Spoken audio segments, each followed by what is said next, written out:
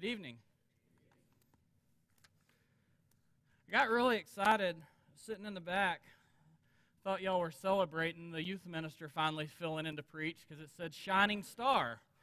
And then I and then I moved up to the front and I saw the plural S and I, I got a little disappointed and realized that was not about me.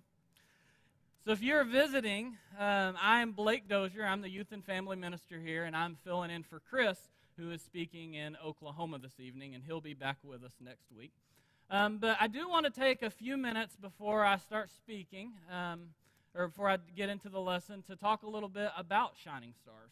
Um, if you are one of our shining stars, would you raise your hand high? We got a lot of them scattered out in the audience. A lot of them were up here at Pew Packers.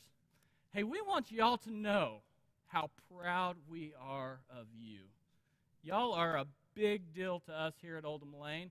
You have excellent Bible class teachers, you have excellent parents, but you come to class and you listen to what your teachers teach. And we're so proud of the things that you've learned over this last year, and we're excited to celebrate that with you tonight. So if you are if you are a grown up in the audience, um, immediately after the evening service, it will be here in the auditorium. We're going to let our kids come up and we're going to have our Shining Stars program where we celebrate everything they've learned over the last year. And we hope that you will stay and show your support for them in that. After that, we'll have a fellowship meal next door, and you're invited to that as well. I'm going to begin my lesson this story with a story, like a, or my lesson this evening with a story, like I usually do.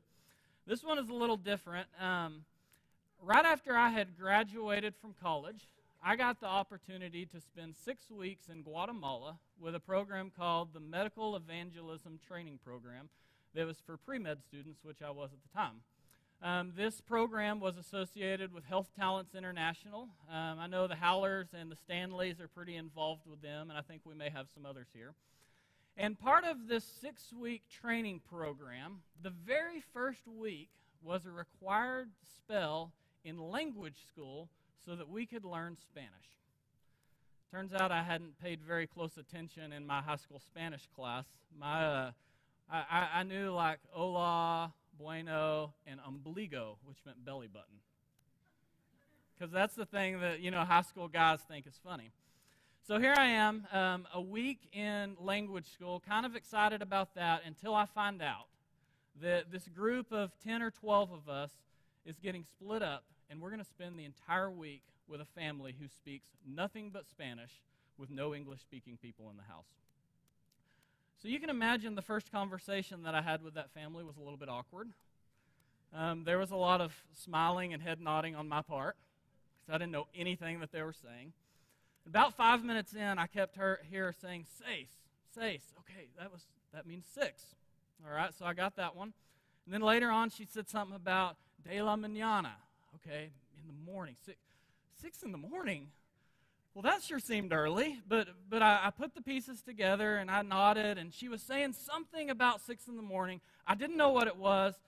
I agreed to it, and I just decided I was going to wake up the next morning at six and see.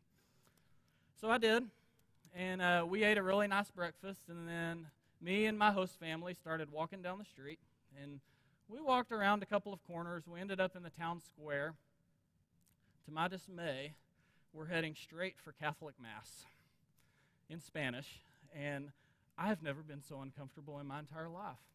I had never been to Catholic Mass. I didn't understand what was happening if it was in English, and this one was in Spanish. And there was a lot of standing and kneeling and, and looking at uh, and making hand signals, and I didn't know what any of it was, and I was just trying to blend in, okay, just trying to not stick out my very first day in language school, and this is where I'd found myself. The foundation wasn't in place for me to understand what was happening. There wasn't a foundation in place for me to understand what I was agreeing to, for me to understand the conversation that had happened between me and the host family. The foundation simply wasn't there. As we open up our Bibles this evening and we turn to Acts chapter 17, we're going to see Paul's sermon on Mars Hill and we're going to find that he doesn't preach the gospel the way that he normally does. And the reason was because the crowd that he was speaking to didn't have the foundation in place to understand the way that he normally spoke. Instead, we see Paul returning to some foundational truths that we must all understand for the gospel to have any meaning whatsoever. Tonight we're going to talk about the Sermon on Mars Hill. And I'm going to argue that the Sermon on Mars Hill was bad news if you weren't a follower of Christ. But it laid the foundation for people to understand why the good news was good. We're going to look at, we're going to make three observations as we walk through the text. And I'm going to ask you three questions. You're going to see that Paul is repulsed by idolatry. And I'm going to ask you, what's your opinion about idolatry? You're going to see that Paul's worldview was centered on an all powerful and yet very personal God. And I'm going to ask you how you view God. And then we're going to see that Paul saw the situation as urgent. And I'm going to ask you how you view the situation that we are in right now. So if you'll open your Bibles to Acts chapter 17, the Sermon on Mars Hill was given by the Apostle Paul. He was a key figure in spreading the gospel to the non Jewish communities. And in verse 16, we see that Paul finds himself in the city of Athens after being run out of Thessalonica and Berea by some disgruntled Jews who didn't like his teachings. He leaves behind Silas and Timothy, and as he arrives in Athens, he sets up camp. He has instructed them to join him, them, and he waits. But we find that Paul was not a very good waiter. He was a lot better preacher. Let's turn to our text and pick up in verse 16. We read Now, while Paul was waiting for them at Athens, his spirit was being provoked within him as he was observing the city full of idols. So he was reasoning in the synagogue with the Jews and the God fearing Gentiles, and in the marketplace every day with those who happened to be present. As we move through the text, we're going to see that, that his preaching gave him exposure to a group of philosophers, and eventually that ends up with an invitation for him to come share this message in the Areopagus, and that's where the Sermon on Mars Hill comes from. But before we move into that, I want to stop and look what the text says about Paul. Paul was repulsed by idols. The text has nothing good to say about Paul's attitude towards idolatry. It distressed him and it provoked him to action. What is your attitude towards idolatry in the world around us and in your own life? I believe Paul was disgusted because he knew all too well where idolatry led people. He knew the history of Israel, and he would have been familiar with the words of God in Deuteronomy chapter 32. In verse 21, we read, They have made me jealous with what is not God. They have provoked me to anger with their idols. God goes on to explain in verse 24 that this idolatry would lead his people to bitter destruction, is what the text says. He goes on to describe idolatry as poisonous and destructive and empty. If you turn your Bibles to, uh, I'm sorry, in verse 36 through 37 of Deuteronomy 32, he, he sarcastically asks, Where are their gods, the rock in which they sought refuge? Who ate the fat of their sacrifices and drank the wine of their drink offering? Let them rise up and help you. Let them be your hiding place. In Romans chapter 1, verse 25 through 26, Paul states it similarly. He says, For they exchanged the truth of God for a lie, and they worshiped and served the creature rather than the Creator. In verse 28, and just as they did not see fit to acknowledge God any longer, God gave them over to a depraved mind, to those things which are not proper. Over and over again, throughout history, throughout the teachings of Paul, we see idolatry is repulsive because it pulls us towards ruin. It pulls us towards degrading passions. Paul knew this. He could see it happening, and it provoked him to teach about the alternative. And so I stop and ask you again what's your attitude towards idolatry? Do you see the idolatry around us for what it is? People are worshiping money and, and things houses, cars, our gadgets.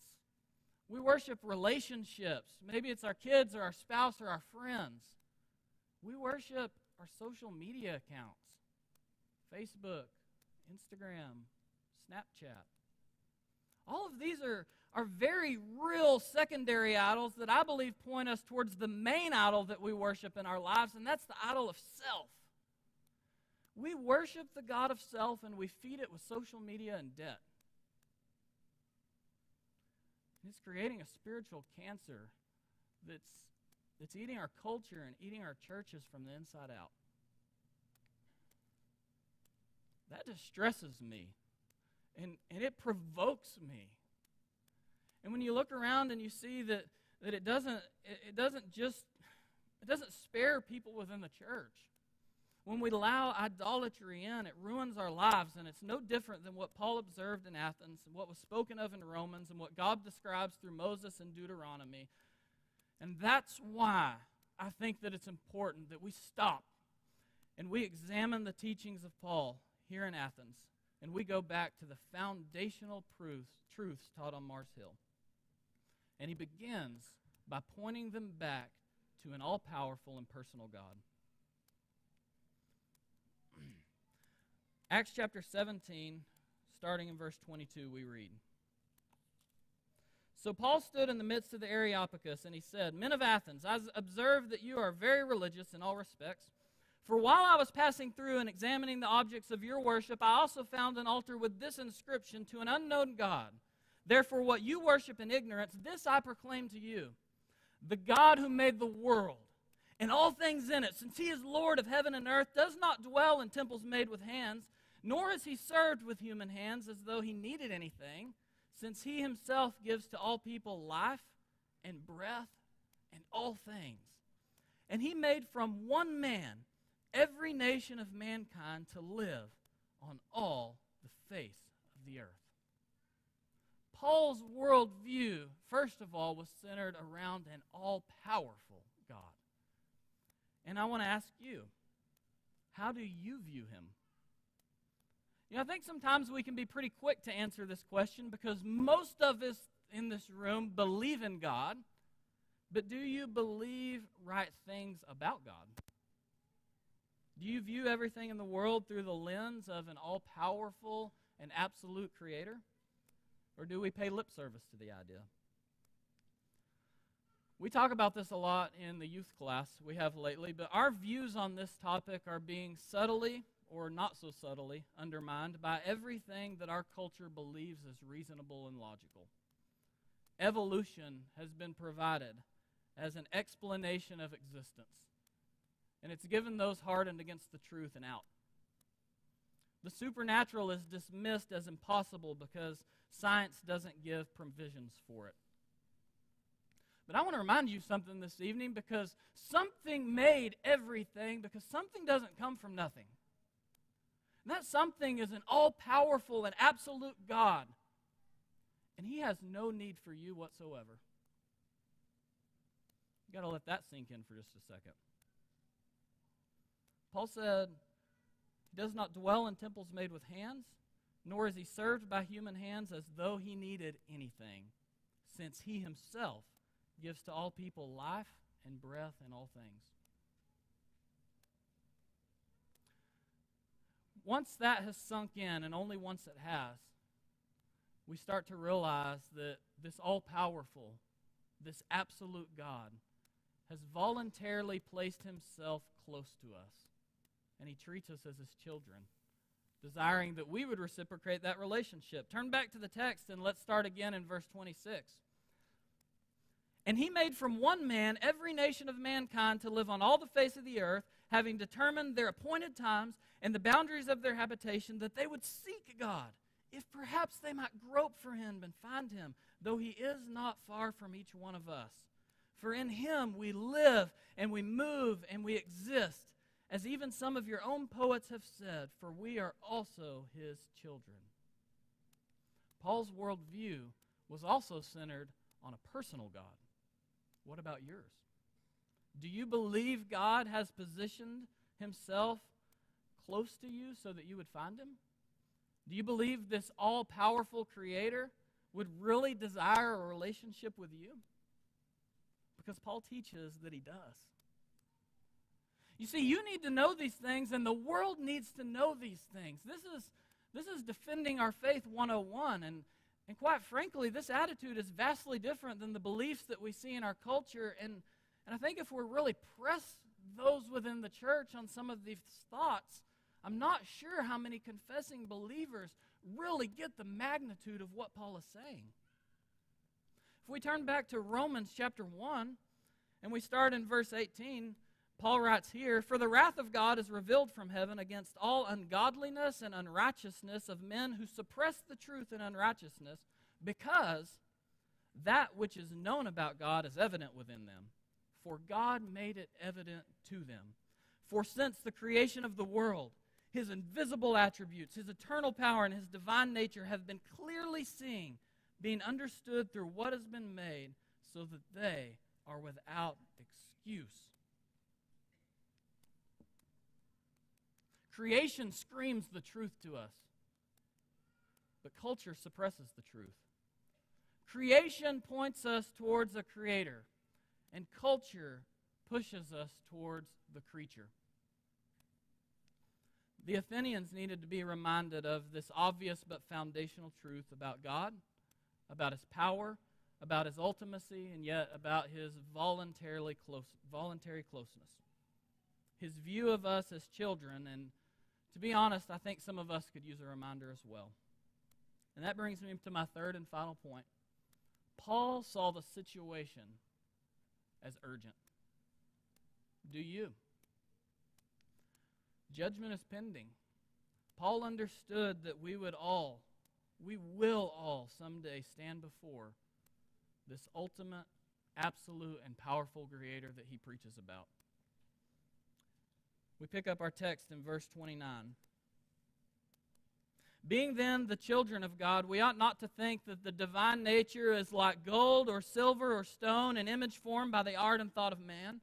Therefore, having overlooked the times of ignorance, God is now declaring to men that all people everywhere should repent, because he has fixed a day in which he will judge the world in righteousness through a man whom he has appointed, having furnished proof to all men by raising him from the dead. We will stand before him. Our children will stand before him. Our neighbors will stand before him. And he will enact his perfect and complete judgment. He will enact justice. He will right all of the wrong. You know, we have a saying, life's not fair. Well, someday it will be. Because God will make it so. And that means on that day, on that day, we will answer for our contribution to the brokenness in the world that we see around us. And that's urgent. Hebrews 10:31 may be too all real for many. It says it's a terrifying thing to fall into the hands of the living God. In 1 Peter chapter or 2 Peter chapter 3 verse 10, we see Paul in context has called their attention to this powerful God, and he says this God spoke the world into existence. Okay, that's similar to what Paul has preached here. And then he tells them that with that same power, with the same power that he used to speak the world into existence, he's going to speak it out of existence. Okay? And, and on that day, his, his judgment will be unexpected, and it will also be complete. 2 Peter 3:10 reads, "But the day of the Lord will come like a thief in the night, in which the heavens will pass away with a roar and the elements will be destroyed with intense heat and the earth and its works will be burned up." Church, this is serious. It's eternal and it's urgent. Understanding the concept of judgment is foundational to everything we believe about the purpose of Christ and our need for Christ. We don't know when our lives will end, and we don't know when God will return to enact his judgment. But we do know that God's desire is for us to repent and not perish. In fact, if we went back to our text in 2 Peter 3:10, if we backed up just one verse, right before he tells us about the pending judgment and how it will come like a thief in the night, he says this. He says, The Lord is not slow about his promise as some count slowness, but he is patient towards you, not wishing for any to perish, but for all to come to repentance. God has provided a way out. Paul tells us in Romans, I'm not ashamed of the gospel, as it is the power of God for salvation, for the Jew first, and also for the Greek. Later on in Romans chapter 6, he says, The wages of sin is death, but the free gift of God is eternal life in Christ Jesus our Lord. For us to understand the power of salvation, for us to understand the good news, we must understand the foundational truths that Paul teaches here in the Areopagus. We have to understand the bad news before the good news is really good. We have to understand who God is. We have to understand what God will do. We have to understand the ultimacy and the urgency of the gospel. So, I want to ask you my uh, main questions again. Are you distressed over the idolatry in the world around you? Do you really view God as the all powerful and absolute creator of the universe? Do you really view God as close and personal? Do you feel the urgency of pending judgment? Some of you tonight are, are where you need to be, and I understand that. I hope this lesson for you was a reminder about where others are so that we might help them see the truth. Some of you think you are where you need to be, and you're not. You can spend a lifetime giving lip service to God while worshiping your very own personal idols. And my call tonight to you is the same call that Paul gave. This is urgent. Wake up and repent. Some of you simply aren't following Christ, and either you haven't known or you haven't done anything about it. And for you, the message today I mean, quite frankly, the words of Paul are bad news.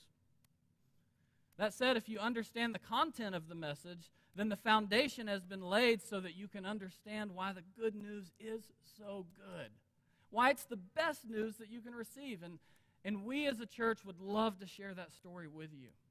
We would love to share with you what the story looks like. While the literal gospel, the literal good news, isn't proclaimed by Paul in the Sermon on Mars Hill, he proclaims it numerous times elsewhere, and here it is in a nutshell. You don't have to shoulder the judgment of God that you deserve. Jesus has offered himself in your place. Turn from your selfish ways, repent, attach yourself to Christ in baptism, and God will extend to you his perfect and complete grace his salvation. The matter is urgent. We are not promised tomorrow. Come forward as we stand and sing.